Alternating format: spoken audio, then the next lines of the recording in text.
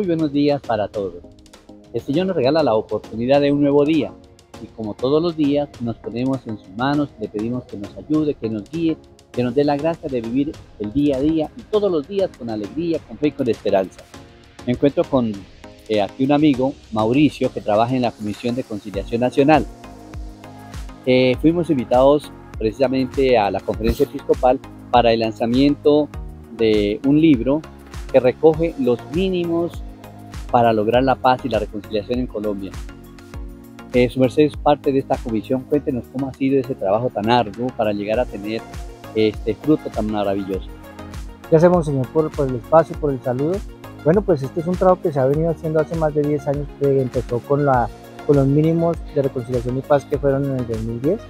Y la conferencia episcopal a través de la Comisión de Conciliación renovó esos mínimos eh, hace dos, tres años empezamos a hacer esa renovación y comenzamos a recorrer los 32 territorios, las 32 regiones del país, encontrándonos y recordando gente linda que había en todos los territorios, pero también viendo las problemáticas sociales y culturales que tiene el país.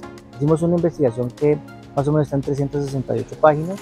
Eh, pudimos cubrir más de 6.200 personas entre líderes, políticos, la gente del común, para que nos dijera qué era lo mínimo para poder llegar a alcanzar la paz. Y bueno, hoy estamos haciendo la entrega de este libro que fue la, el recorrido por todo el país y buscar los mínimos para poder encontrar la paz eh, en Colombia. Bueno, ¿y qué se espera por este Bueno, esto es como un inicio para poder continuar y que estos documentos hagan parte de los, de los planes de desarrollo de los territorios y del gobierno nacional para hacer incidencia política. La iglesia lo que quiere es crear puentes, quiere generar eh, no tanto soluciones, sino encontrar la gente que se una unos con otros para abrir los oídos para escuchar y comenzar a generar procesos de reconciliación y paz en el territorio. Bueno, que el Señor nos dé la gracia de lograr la paz que tanto necesitamos. Colocamos nuestro día bajo la protección de nuestra Madre, la Santísima Virgen María.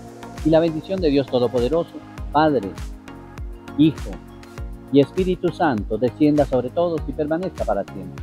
Un feliz día para todos. Amén. Gracias.